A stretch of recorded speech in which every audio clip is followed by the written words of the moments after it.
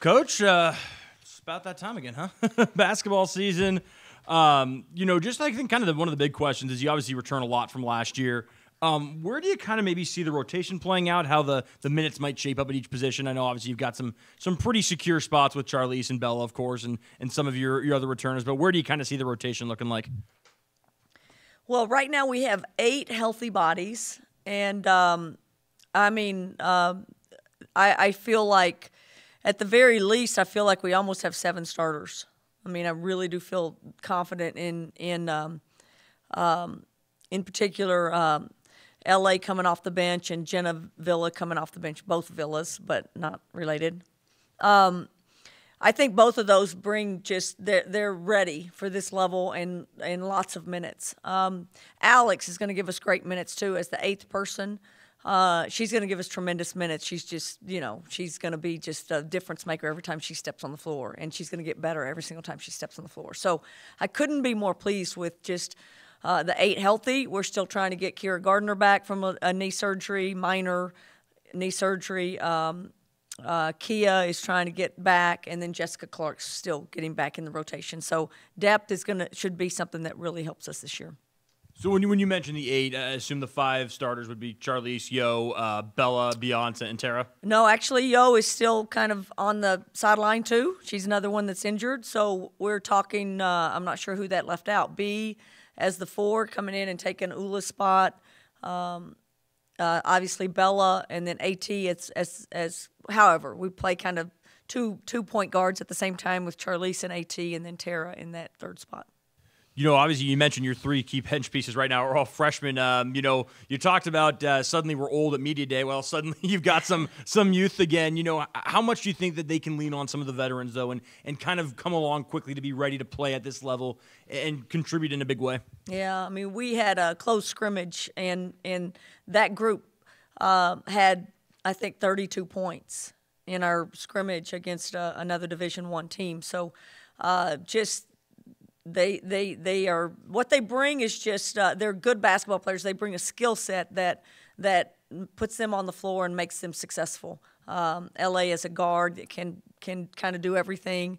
Jenna, obviously, with her shooting potential. Uh, and yeah, I think it's a great confidence boost for all of those guys to know that they don't have to go in and star.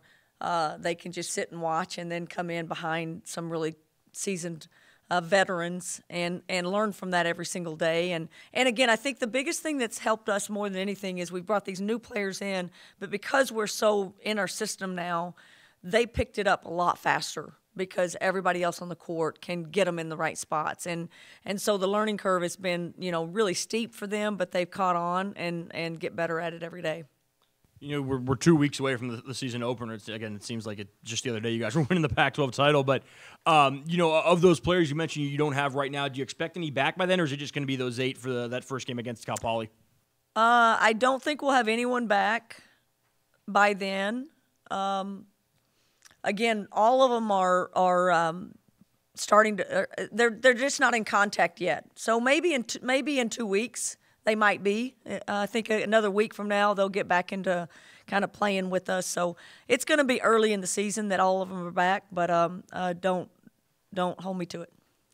With uh, Charlisse, I'm curious where you want to see her take her game this season. Like to her, like to you, what's kind of kind of the uh, next step in her development?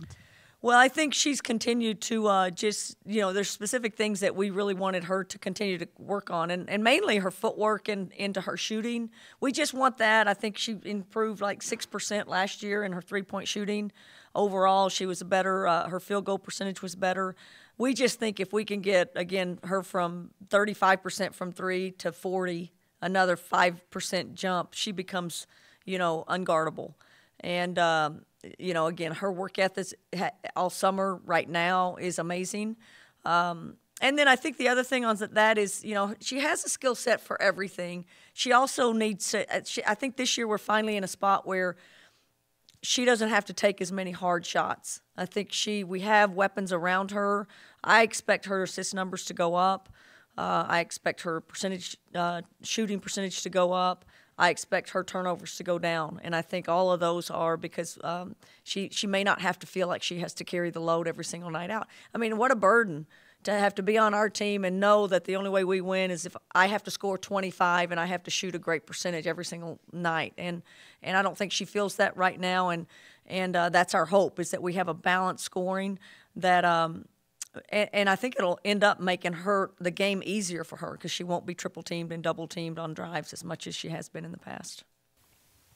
With some of these freshmen you're talking about being a key part of this rotation, you know, in whichever role, I'm just wondering, as a team now, with these expectations, what happened last year, how you kind of balance as a coach, allowing for some of those, you know, freshman mistakes and learning and growth, but also knowing that, you know, you have those higher expectations, trying to win all these games. Just how you balance something like that. Yeah, I mean, I think that's a constant. I think, um, again, they've stepped into a really elite culture, those freshmen. And, and they've they've bought in and they want to be hold that standard high. I mean, the thing that you worry a lot with freshmen is they don't have the urgency that the upper class do. So the upper class are looking at those freshmen every day going, please understand this is my last go around. Get this. You know, come to practice ready. Come with an expectation that I got to be great today. The inconsistencies of that mentality, you know, it's going to be in every freshman as they learn and grow. But gosh, when you walk into that kind of culture, uh, again, the bar is raised for them and, and they sense it and they understand it. And again, um, just great accountability in our gym right now. So I think the balance is there. I think the the the the, the seniors are ready to be done with last year. We we uh, we don't need to talk anymore about last year. We just need to attack this year and see how good this team can be. And and again, I think everybody's really really excited about um, the team that we're going to be able to put on the floor today, this year. Obviously, you've moved on from last year, but you know, defending conference champions coming into this season, but you were picked fifth in the media poll. Is there any kind of chip on your shoulder with you know when you see something like that, or is it just like, hey, we got to go prove it on the court? Well, I mean, I thought Charlisse uh, in the media day at media Pac-12 media day said it. She, we might be, we might be ranked higher than we've ever have in the history of our program, uh, but I think everybody that every time we walk on the court, we feel like we're the underdog. I, I just think that's kind of the Washington State way. Um, I think most people walk on the court and think we can play with these guys, and they think they can beat us. Uh, so I, I don't know that we'll ever lose the chip on our shoulder. Um, you know, the four teams above us are great, great teams, but it's shocking sometimes when you look at that ranking and you go, how did we leapfrog some of those guys? You know, some of the, the USC and Oregon and and Arizona's that have been so phenomenal nationally for years and years. So we're doing really a lot of things right. Um, preseason rankings just almost mean nothing other than we get to talk a little bit about it. Uh, but really, it just comes down to you know what are we going to prove, who are we going to be, uh, and and trying to prove it every single day we walk on the court. And another name that's probably going to be a household name by the end of the season is Beyonce. There, um, what have you just seen from her in the short time she's been on campus? Well, I say it. B B is um, is the easiest person to coach. Um, you know the, the, the whole high high maintenance, low low maintenance, and then no maintenance. She's no maintenance. Um, she's really every single day. I think she's getting more comfortable with where her shots are coming and how she can impact our spacing in our game. Um, I just think she's going to be a, a, tremendous player for us. She's she's by far um, going to be our leading rebounder. She just works at that. Uh, you don't really have to run plays for her, even though we need to. We need to put her in positions to really score. Um, but she's going to score anyway because of her work ethic and where she gets and and how the ball comes to her. So easy person to play with. The players, uh, as a teammate, they love her. She just couldn't fit in better with us. And again, I think she's one of the reasons that we're really confident because it's that same mentality in years past. I'm, I'm sure Charlisse has always felt like she's got to do too much. The burden's going to be spread around. Uh, you've got, you know, Bella with an uh, opportunity to be a double double every night. You have Bea with an opportunity to be a double double every night. Obviously, you have Charlisse. There's just a lot of um, playmaking abilities all over our court. As TV guys are on the same wavelength back here. I'm kind of going to build off both of those questions. Uh, with Beyonce, she just carried that Idaho team. Um, what's is there any challenges coming with fitting her play style? I know you just talked about the burden being shared. Um, is there any challenges with getting her, Charlisse, everybody to mesh? Yeah, I mean, I think we're talking a little bit about that. Um, I mean, I think they, I think B chose us because I think she really wanted to to win at the highest level, and she didn't choose us because she, you know, she had a, a position there to get 20 shots a game or 22 shots a game. Chances are she's not going to get that many shots in our gym. Uh, but I, I, think the the chance to win, the chance to win at this level, um, I think really is what motivates her. Uh, but it is our responsibility to put her in position to to affect the game and to help us. And again, she's someone you can count on. She's big big moment player. Uh, she's not afraid of what's coming. Uh, she's gonna she's gonna do whatever she can to help us win and succeed. And again, she's gonna do it unselfishly. So we got to get total buy-in from everybody on the court to you know there's a fine line of that moment where I can drive this and force this shot because that's I'm good and I can get I can get shots off. Charlisse could do it. Anyone on our team could. Or I could keep moving the ball and trust this and know that we'll get a better shot at the end. And we don't know who's going to shoot that, but that's the thing we're trying to buy into right now is when we move the ball, when we don't force too many things, really good things happen and we shoot the ball pretty well. So that's a that is our our biggest job right now is to get our entire team believe in that and and again, I think we have a chance to, to be that. Uh, and then the last question I have for you, coach, is uh, you know we talk about finishing fifth. Is there a chip on your shoulder? But you've c- consistently been building this program. It's you know getting better every year. Now it's at a point where WSU is not looked at as one of the bottom tier teams, one of the favorites here in the conference. What is it like for you and the players to head into a season where there are expectations for this team? Right. Well, I mean, you just can't ask for. That's exactly what you want. You want people to expect um, you to win. I, I think uh, the other expectation is we want to have an expectation of people showing up in our gym and getting the fans behind this team. I think we've earned that. I think we we need that. We need to create a home environment where it's impossible to walk out of here with a win. Uh, there's nothing wrong with expectations. I want us just to be fearless in how we approach every game because we've prepared ourselves so well and we've done the work. And and again, we trust that uh, you know we're going to work as hard as we possibly can, and you know we don't feel the weight of the world on us every time we step on the court. I think that's freeing, and I think we can play pretty free this year because I, I do think. Um, we the weapons on the court make it easier to to not put too many pressures on ourselves. Coach, how would you maybe say that all this kind of uncertainty around realignment and you just, you know, all this, the, the conversation, the discourse, and so on, have you seen it affect recruiting at all? Well, yes, yes, absolutely. I mean, we lost a player, you know, at least uh, uh, so far to uh, another person in our league for that exact reason. Um, you know, it's a it's a conversation every single time you're talking to, to a recruit you know, more more often with a, a kid from the states, you know, they really understand conferences and understand that we're in a tough spot right now. Um, internationally, it, it, still is a conversation, but maybe not quite as much. I think so much internationals they they choose you for relationships. That's all they know. They don't know near as much about the college game and how it, it operates. Um, so we're going to continue to work both sides of it. We're gonna we're gonna be us. We again I, I've told people before we were the worst budget out of the 12 in the league, and yet we won a Pac 12 championship. So uh, we have the people in place, we have the support that we need. Um, we have, I think, we bring some elite coaching, elite strength and conditioning, elite nutrition. I think we have the, the facilities. I think we have the things that affect a kid's life every single day, and it's as good as anyone in the country. And uh, we're going to tell people to, to, you know, choose people, you know, count on people more than anything else. And if they do that, I think we'll still get the, the players that are fit for us. You know, we've seen some of the, the dollar signs that get thrown around when it comes to football. And how much have you maybe seen NIL impact recruiting? And, and I mean, where do you think you guys are at with that and kind of having it play a role? Yeah, it's going to continue to get to be a bigger and bigger issue. It, it hasn't completely affected us now. Again, I say that because we were lucky enough to have – maybe a couple of players that are so loyal. You know, Charlisse probably could have gone anywhere she wanted and, and, and attracted some money. Bella probably had a lot of opportunities out there.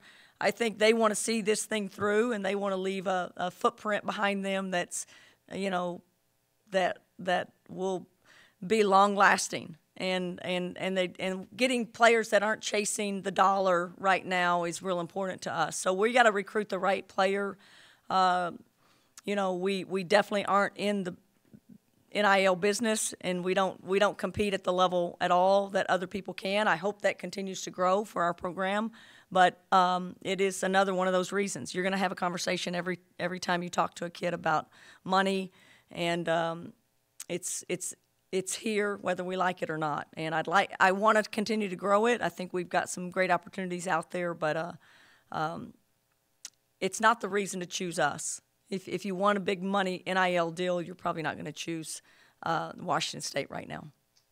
You mentioned just a minute ago you called Beyonce no maintenance. Um, Probably fair to say when Bella got here, she was on the opposite end of the spectrum at high maintenance. How have you maybe seen her grow more and more towards the low maintenance, no maintenance? And we've talked about the switch that she kind of flipped last year before the season, and then did you see it kind of flip even further to where she, you know, you don't have to miss necessarily quote unquote babysitter as much as maybe you did her, her first couple years?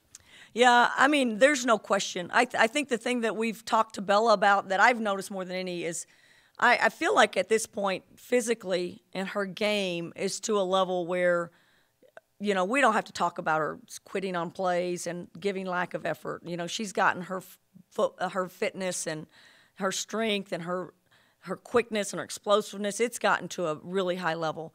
You know, emotionally, you know, that's the that's the still a little bit of a roller coaster because she's so high and low. I mean, she's just if if something great happens, you know it. And she jumps out of the gym and and struts and does all that stuff and shows ma- major swag. And but when things go bad, she gets a little low on that. And so evening that out and trying not to let you know the bad things, the the way people play her, if she gets she gets a bad call, the stuff again that is uncontrollable, you know, get it back to you know, respond the right way and come and, and, and just uh, affect the next play. And and that's the that's the next step for her is to not be quite as uh, bothered by things that happen because just expect that they're going to come. And again, her response has got to continue to just grow and be great. And it has. It's getting better. Um, foul trouble is still something. Again, I want her to average 25 or 28 point uh, minutes a game.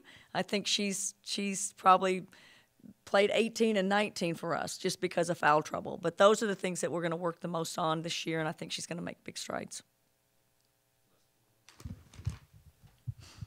Just wondering, we talked a little bit about, you know, kind of the underdog mentality and then the Pac 12 situation. If there's anything added to the season that it's kind of like one last run in what is known as this Pac 12 conference, a chance to like make one last statement to this league and what you can do in it.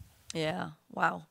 Yeah, we won our first last year. Everybody's going to be hunting for the last one, uh, at least uh, with these teams in, in this league. Um, that's so exciting to think about. And again, it's exciting to think about it with the team that we have. Because again, I think we have a team that has an, uh, more more than any in our in the history that I've been here. Uh, we don't have very as many holes in our game. We we're we're capable of playing different styles. We're shooting the ball better. I think we're a better rebounding team. I think we're a better um, defensive team. I think there's ways that we can we can change and adapt and be better every single time we step on the court, and and that makes us a danger to anyone we play. Uh, lots of things can go wrong with that, but it's exciting to be on on with this team, knowing that um, the potential is there and the mindset is there. Now, got to catch some breaks, and but I, again, I don't think this team fears playing anybody. And now it's just time to start the season and and um, see where we are and get better as we go. And again, our goal is to be playing great basketball in February and March. And now it's time to make that NCAA tournament and, and make a long run into the NCAA tournament. Thanks, Coach. Thank you, guys. Thanks. Thanks. Go Cougs.